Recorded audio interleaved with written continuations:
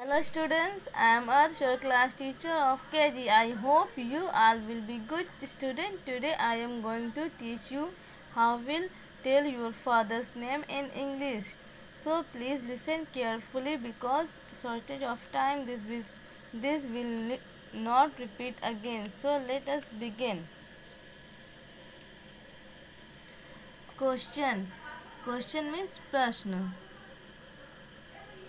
W H A T what what means क्या?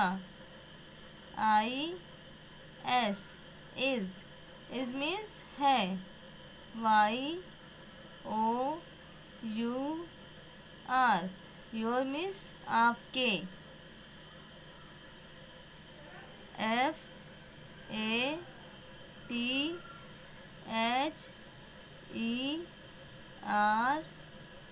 S father's father's means पिताजी का N A M E name name means नाम what is your father's name आपके पिताजी का क्या नाम है?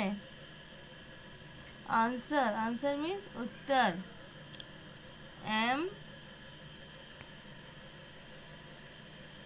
Y my my means मेरे।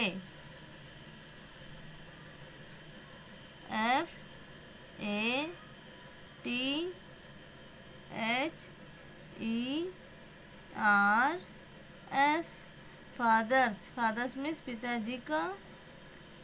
N A M E name name means नाम।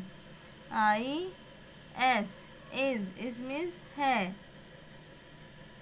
M R mister dash my father's name is mister Noor Mohammad है. मेरे पिताजी का नाम श्री नूर मोहम्मद है.